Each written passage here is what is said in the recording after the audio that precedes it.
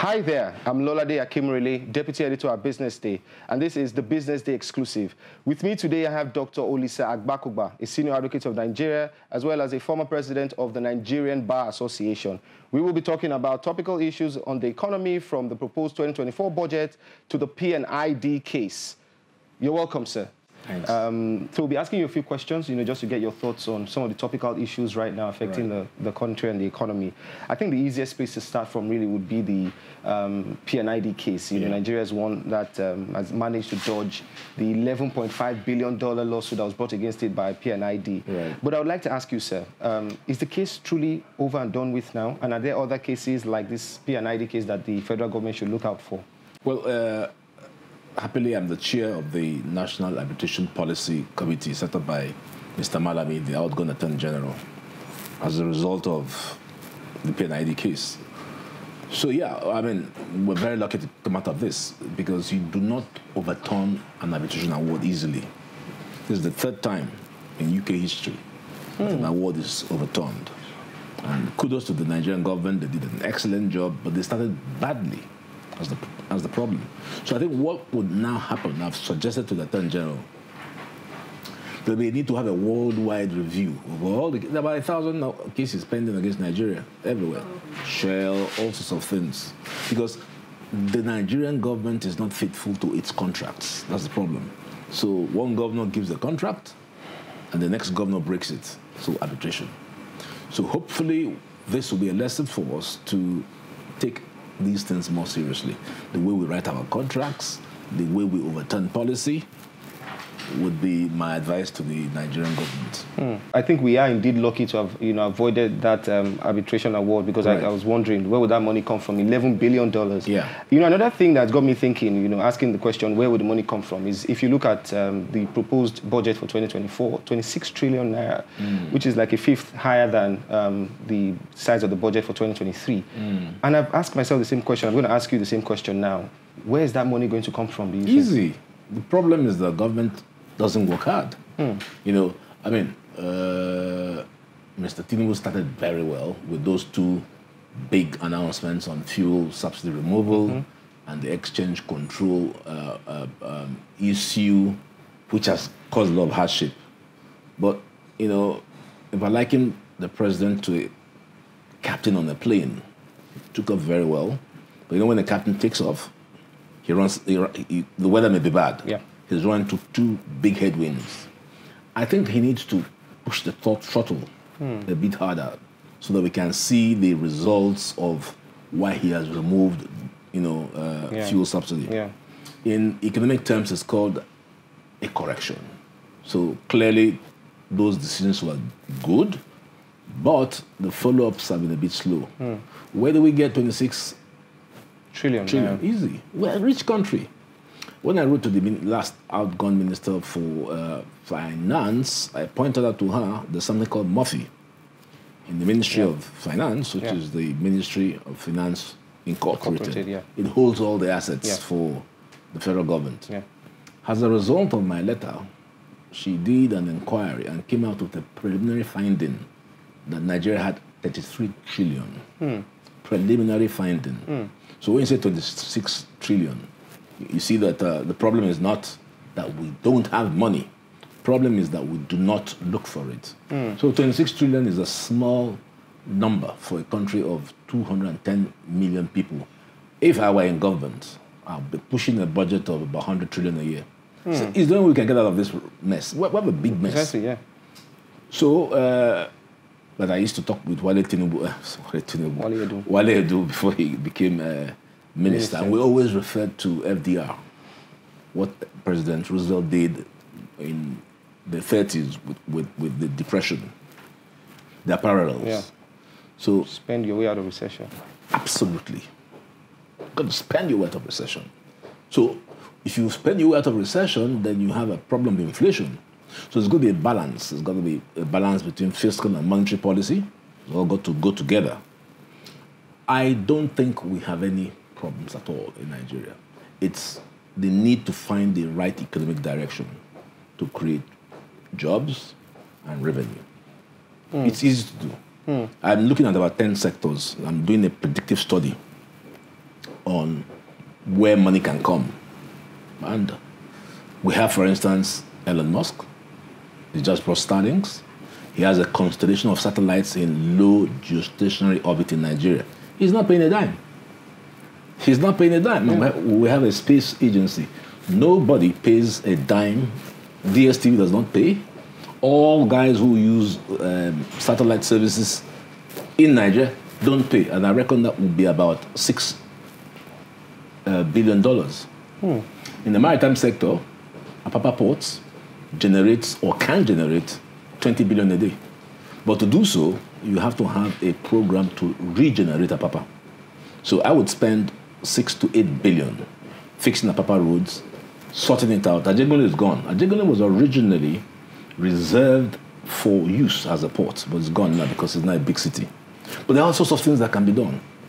If you go to uh, the financial services sector, it's a lot of money. It's a lot of money there. But you've got to have people who are planning and thinking through that process. And we can go on and on, you know, to see where the funds can come. So when you say 26 trillion, that's nothing. Yeah. For a country of 200 million, million people. That's yeah. nothing. Yeah, I agree with you. I mean, it's less than 10% of GDP. Absolutely. Yeah, I mean, countries countries like South Africa spend much much more than that. Absolutely. Yeah. So I, I do agree with you that there's so much more we can do in terms mm. of um, raising revenue. You know, especially when you consider that um, debt service as a percentage of revenue is really choking the government, and it, you, a lot of people will tell you that uh, the, the debt uh, the debt burden is not that huge. Mm-hmm. The problem is the low revenues. That's, that's why problem. we have that's what we, what we have today. Another area where we are certainly punching below our weight is if you look at the crisis we have in the FX market. You know, there's acute dollar shortages right now. Um, um, I, am glad you touched on the bold reform by the new administration in mm-hmm. June to mm-hmm. float the, the naira initially, anyway. Um, but that has not gone as planned because of the dollar liquidity in the FX market. But the finance minister Wale Edun did say that um, the country will be ex- is expecting about 10 billion dollars mm-hmm. in a mm-hmm. few weeks that would help grease the FX market. But you know, I, I'm, I'm tempted to think now at this stage, well, maybe I'm putting the cart before the horse, but I'm thinking, okay, so if the $10 billion comes and then um, we clear the backlog, which many will say is between $7 billion to $10 billion, then what next? So, what next is to open the market. That's the only way. Once you have blockades and toll gates, there will always be precisely rent collectors. Yeah. We've got to take the risk and just absolutely liberalize the market. Hmm. I know there may be there may be some worry that psh, it'll go up, but yeah. eventually it will find its level. That's the only way. Otherwise, Wale Edun says it's going to get 10 billion. All right, so you spend it. The next one comes from where? So that is not a long-lasting solution. The long-lasting solution is to open it so I can walk into my bank and buy forex. We should have forex shops like in the UK. Mm-hmm. Go and buy it. The government has no business controlling the forex market. It can be a buffer of last resort, yeah. but to manage forex on a daily basis is unsustainable. Yeah, it has never worked. It's unsustainable. That's the problem. Hmm. So I think they need to review the operational dynamics of forex. Why should, why should government be a forex supplier? I don't understand it. Yeah. Why should it be a forex supplier? You allow the private sector to do it. So you have um, airlines saying we're not going to come here because uh, we have about one trillion dollars and we can't take it out. What is the business of government? You're doing a, you're a private person, so if you come here to do, so um, let us say now what airline can I think of? Say Lufthansa in London. Do they go to the Bank of England? Mm. It's not the business yeah. of the government yeah. to worry yeah. about supplying forex. It's, it's, adequate supply of dollars. You can just go and get that anytime you need it. And so is the silly decision of Emefiele to say I ban 43 items. That's trade policy, nothing to do with uh, monetary policy. Yeah. So my point would be, I need to see a carefully crafted policy around trade, hmm. fiscal, and monetary. Hmm. Because if you don't align all these three, there's going to be a problem. The other nonsense about whether the naira is going to be 2,000. Yeah. What about Japanese yen? What's the mm. do they worry about the nah, value? No. You should worry about the productive value. Precisely. Even the Chinese don't worry about the yuan. They don't worry. In fact, in fact it's in their, exactly. It's in their interest if it's weaker. Absolutely. Because it promotes exports. But so, the problem with Nigeria is we don't export enough. enough. Well, no, because the environment to export is not conducive. It's not conducive. Yeah. That's the reason. the environment is not conducive. So those are the big things that I hope you know to see The new uh, the administration, new administration focus on the big things. Just like when President Roosevelt came in, unemployment, he created the uh, Tennessee Valley Authority, put in four million people, you know, created jobs. Then that slowly begins to build up the economy. You're dealing with China that have their their their productive capacity. So if I'm exporting, I can go to the Chinese um, uh, export bank and I get 50%. Hmm. I had a client who was doing tomato puree. He couldn't sell because the Chinese were bringing it and selling at, I think, 2,000 naira. Yeah. And his was 5,000. So we need to do all this. We need Yeah. to have a robust, Yeah. conducive, all-inclusive mm-hmm. trade policy. Mm-hmm. Personally, if I had the opportunity, I'll be raising barriers. Because I can't have an open system where we're, we, we have uh, people dumping goods in Nigeria. I would close the place. People say it is anti, uh, what do you call it, WTO. Why did Mr. Trump shut his markets? So we must stop this nonsense of IMF and World Bank telling us what to do. We need to have our own national endorsed economic policy. Hmm. I'm not pleased that every other year uh, Article 4 uh, visits take mm-hmm. place under the mm-hmm. IMF mm-hmm. and they give us prescriptions. They're, not, they're, not, they're not honest people. Hmm. And that's why I want us to turn to the East. Hmm. Turn to the East. Even in my law practice, the Eastern lawyers, by which I mean Asia, they are more willing to embrace us. But Western lawyers want to dictate to us. So we need to see a switch. And we need to see somebody as experienced as um, um, uh, Professor Akinyemi play a strong role in foreign economic policy. Because there's a big gap there. We need, as Kissinger did in the early 70s, to approach the East. That's where we can have a result, which is why the West is quaking, because Yeah.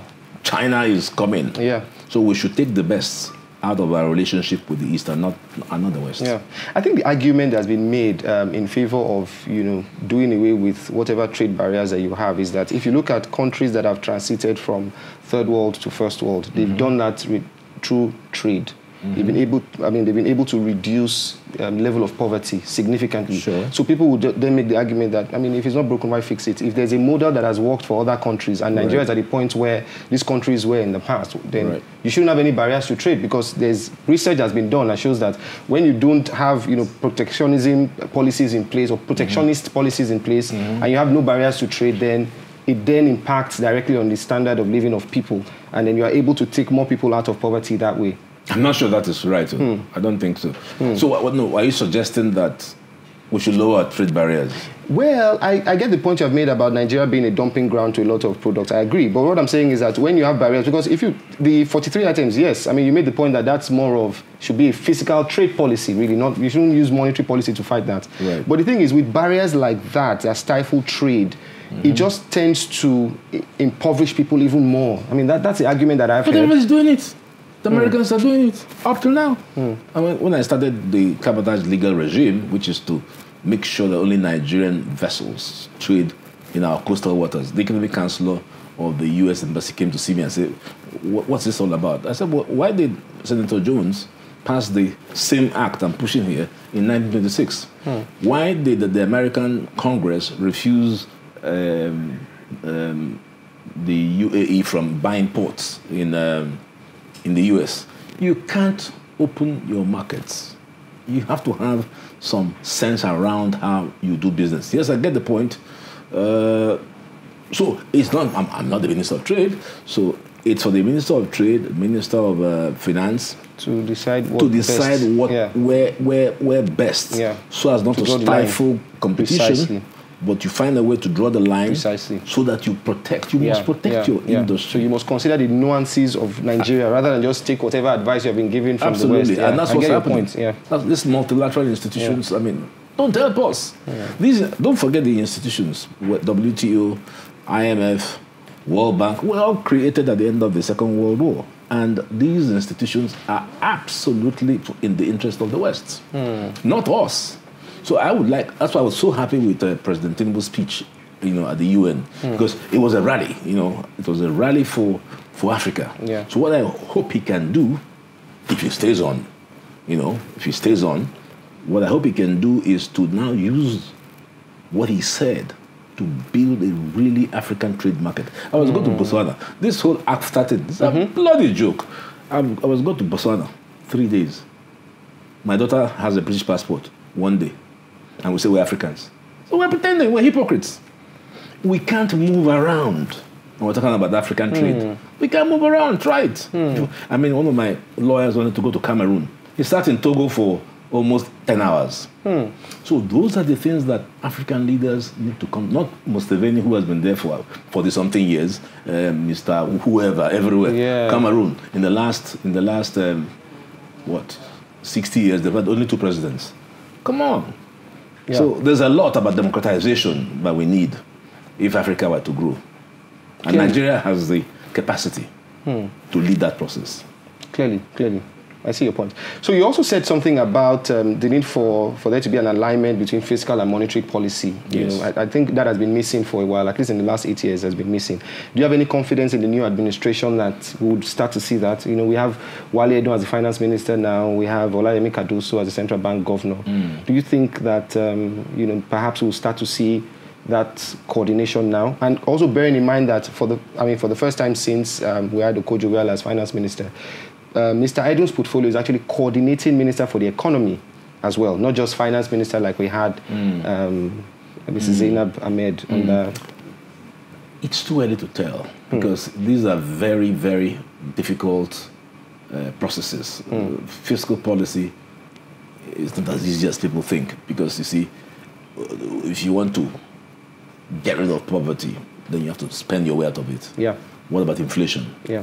Then what So what many considerations. Huh? Yeah. So many considerations. so many things? Just like when people say, "Oh, you look, the interest rate right now is too low." Yes. If you look at inflation, interest rate is well below inflation. In fact, the negative real interest rate in Nigeria is the highest in Africa. So people make the point that look, you need to increase interest rate, but then if you increase interest rates, it affects your debt service costs. Absolutely. So I get, I get the point. So it, uh, it's too early for It's a delicate to, balance. Yeah, delicate balance. Too early. The two guys are my friends. I know them very well.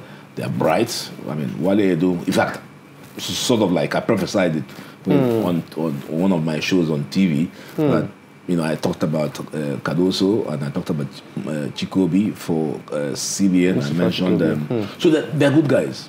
So now, let's. I know that the case in court is distracting.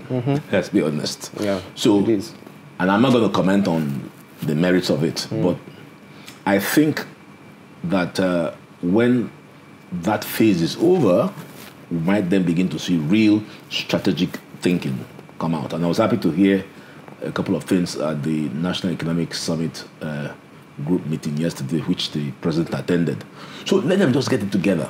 You know, Nigeria is not a big challenge if you have a plan. Mm, it's not a big challenge. So, um, part of the reforms that we have seen so far, I mean, you alluded to that much earlier during the course of this interview, the two big ones, the fuel subsidy removal and then the FX market liberalization. Part of reforms that um, the IMF suggested a while, a while back.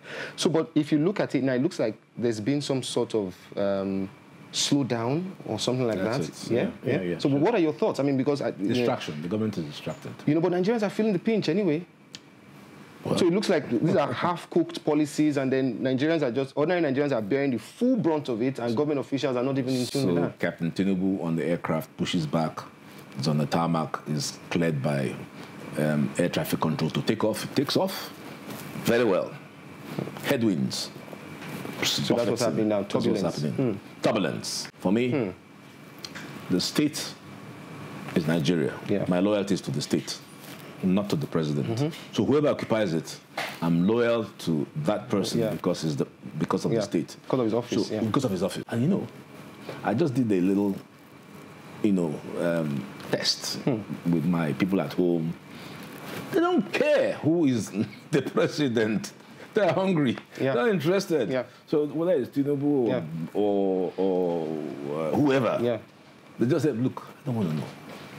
I'm hungry. Yeah. I can't pay school fees, medicals. Nigerians are very self-sustaining now. They don't they don't rely on government for many things anymore. if there's a big volcano that comes and blows Abuja away, no one will feel it. Yeah. Because the informal sector is keeping Nigeria alive. Precisely. So we just hope that, you know, we can find this. Um, this co- in, in, in airline parlance is called the climb out. Yeah. So the climb out, we're halfway on the climb to to uh, what do you call it to cruising. So when we get to cruising level, then things will look good. Stabilize. The potential of Nigeria having a single digit interest rate is, is very possible. And I'm happy the fintechs are giving the regular banks for the money. Yeah. Absolute. Yeah. Absolute. Because whenever I see this maintenance and that and all that Hmm. on my account, I'm very angry. Mm-hmm. So with the competition coming, the banks might start to think through. And I also think, this, this might be controversial, but I think it's time to break up the central bank. How do you mean, sir? What does central bank do? Central bank's main function is, is MPR. Yeah. That's, the, Yeah. that's their main function. They have no business Price stability. really. on, that's it. Interest rates, inflation. That's all. They have no business with uh, banks, banking supervision. Of course. Interventions and all those or things. financial conduct. So I would say to the Central Bank of Nigeria, look at the UK process. So you have the Bank of England, Mm-hmm. You have the Prudential Regulatory Authority. Hmm. They deal with banking supervision. Then you have the Financial Conduct Authority. They deal with banking misbehavior. So the Bank of England Hmm. focuses on MPR. But here, of course, Emefiele took us into, you know, Yeah. a, a different world. So I like for the central bank to be focused on. Yeah. And having said this, because we're talking about Nigeria being a better, stronger, institution-led place, not only the central bank, um, INEC needs to be unbundled so that we can get better elections because it is this lack of transparency in the electoral process that has put us in this place. Yes. So there's a lot that needs to Yeah. be done as we go along. So, so you just shared some very innovative ideas about, you know, why you think the CBN should be unbundled, you know, and then, you know, what you said about INEC as well. So let's let's talk about Nigeria as well. Mm-hmm. Are there other, I mean, in terms of restructuring, isn't there, shouldn't there be some radical changes that should also massive, happen on, massive, on the massive, national massive, massive. Let me take you to the 1st of October 1860. Hmm. We had about 300 kingdoms. People don't realize that the largest man-made wall in the world was in Nigeria. People think it's China. Benin, the Benin Kingdom, had 10,000 square miles. That is why Oyibo people came and stole everything. When I go to the British Museum of History, I want to cry. I see Yeah, it's they, all about they were stuff, stealing our Yeah. things. Then, then they realized that there's a lot of money in this African place, that continent as they call Mm-hmm. us. Mungo Park discovered River Niger. Really? What about my great grandfather was there? So they now saw the need to amalgamate us. Diverse people. Urhobo, Igbo, Yoruba, name it. Forced us together by January 14, 1914. Lord Lugard put us together. Not bad. I always believe that bigger is better. Mm-hmm. Problem is that our science is unmanageable. Yeah, I think it was just amalgamation. It just happened to It just so- happened for, for commercial interest. Yeah, For commercial Yeah. interest. So what our leaders need to do now is to say, you know what, this thing is not working. It's too big. Mm. Yeah. Do you think, really think that the Chief Justice of Nigeria can be Chief Justice of Nigeria controlling all the cases? Hmm. So I don't know where you're from. What town are you from? Ondo State. Ondo. So a land matter in Ondo State gets to the Supreme Court. What is the Supreme Court doing with that sort of case? So you need to unbundle the judicature hmm. so that local cases stop in Ondo Yes. or my town, Onitsha. Cases that concern all of us will go to the Supreme Court. So we need to. I don't like to use the word restructure because it's offensive to some parts of Nigeria. Mm-hmm. And if you want a marriage, there are things that you must do to bring everybody together. But I think the lowest common denominator we can all agree on is that we need to create more space. How can you remember that uh, uh, this guy who was governor of um, Rivers, Rotimi Amaechi, Yeah. was actually once stopped, blocked from entering his uh, state house by a commissioner of police. so the truth is that the commissioner of police is tougher than a governor. That's not good. Yeah. So we need to a lot unpack. of these We need things, to yeah. unpack Nigeria. And when we unpack Nigeria, look, my friend uh, Rotimi Akeredolu, he's sitting under one of the world's most, re, what's the word now? One of the best bitumen materials in the world. The Benue Trough contains sweet oil from Benue right through Onitsha, untapped. And I can go on and on. And I agree. because and that's because you have a we have what we call a centrifugal federal system Mm-hmm. where only one man matters. That's the president. Mm-hmm. So everybody wants the president. In the UK, there are four principal regions: Wales, Scotland, England, and Ireland. If you're a QC, like a Masan, you practice your license is to practice in Wales, not in the UK. But here, as a QC or SAN, everywhere. Everywhere. That's the stop. Hmm. We've got to, we've got to, we, we- we've got to look at River Give Niger. more autonomy to the Look at River Niger. That's my river. It's, co- it's controlled from Abuja. What, what does the Abuja man Yeah. got to do with my, the river in my town? The other day I saw some lowly person from Ministry of Aviation with the governor in Owerri inspecting the airport. What does what is the federal government's business Doing all that. with an airport in Owerri? I, I- see the point. I mean, yes, a lot of a lot of us have been advocating for you know that kind of state autonomy, because without that, the current structure we have, I think it has made a lot of states lazy. Too I mean, lazy. look at data like foreign direct investment inflows into states, and then you see that as many as 27 states didn't attract a single dollar Absolutely. throughout last year in FDI. And Yeah. you're like, well, they, there's no there's no incentive to do that because you can just go and you To know, Abuja to yeah, to get. FAAC, yeah, and, and you know. So, but if you had that sort of autonomy, then and you know that oh, the, the future of the states is in their own hands. Yeah. Perhaps we would start to see Yeah. more innovation from Yeah, them. Absolutely. And le- leadership is also something we need to, you know, look at. And I, for this, I applaud Wike. Hmm. He just came to Abuja and everybody's on the run. Yeah. Every, everyone, Yeah. that shows you the meaning of effective leadership. Hmm. You guys don't pay tax. Shaking a lot of tables. Shaking everything up. All the dens of thieves and robbers have disappeared. So if Wike were to walk on one of the streets of Abuja, he's going to have about 5,000 people following him. Hmm. Because he's popular. Yeah. Because he's taking popular decisions. Hmm. Any president that cannot walk on the streets hmm. does not deserve to be Nigerian president. But do you think the president? Okay, go on, sir. No, no. I was going to ask that. Do you think the president can single-handedly make these radical changes that you're speaking about? The initiative for the achievement of good governance comes from The top. the president. Yeah. But he needs people. But if he delegates it, there's a problem, which is why I'm a bit concerned about Wale Edun being coordinating minister. Because that makes him sound like a prime minister. That's a sort of delegation. President Biden is in front. All the British prime ministers, you see uh, Rishi Sunak, absolutely in front. He, he wouldn't say coordinating minister of the state. You handle this. So that one I'm not sure of. I'm not sure. But whatever it is, whatever model, what is important is leadership. Because President Tinubu has demonstrated a particular style. So maybe it works for him. It worked for him in Lagos. So if he understands how to rally people, put somebody in front, it works. Look, what Nigerians want is just good life, dividends of democracy, Yeah. food in the stomach, Yeah. Medical facilities, Yeah. good roads. That's all. Yeah. That's all, nothing more.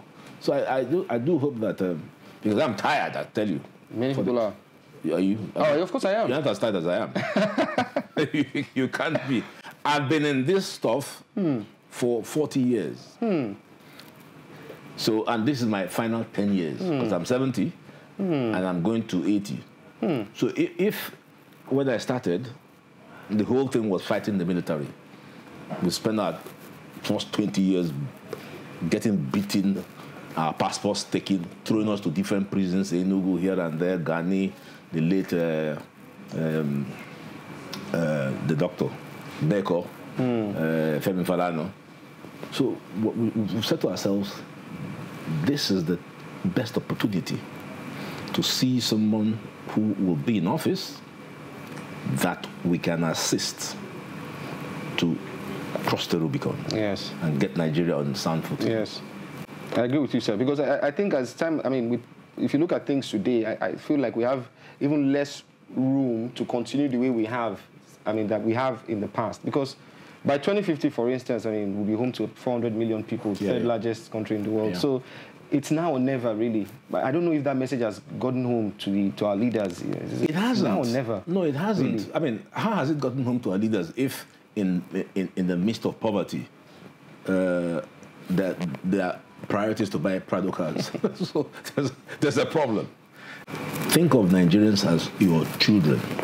So if you see your child sitting at home, not going to school, you'll be disturbed. course. Or not eating. Of course. So that's what I think a Nigerian president should be doing for Nigerians. And Nigerians are very good people, you know. Yes, we are. Very good people. Otherwise, our streets would have been full with Protests here and there. protests. Full. 10 million, 20 million people on the streets. Because when I come to a Apapa from Ikoyi, I see them. I see vagabonds, or hungry. Yeah. How can a man at 7, 8 be drunk on Ogoro? Because he has nothing to do. He doesn't care. And that's a common general problem. is. So we really need to uh, hope for the best for our country. That's an important message. Yeah. I think we can end the conversation here. Uh, thank you so much sir, for the time. Thank you. Thank you very much. And that's it on today's episode. That was packed. Do visit our website at www.businessday.ng and don't forget to follow us across our multiple social media platforms. My name is Lolade and this is the BusinessDay exclusive. Till next time, thank you.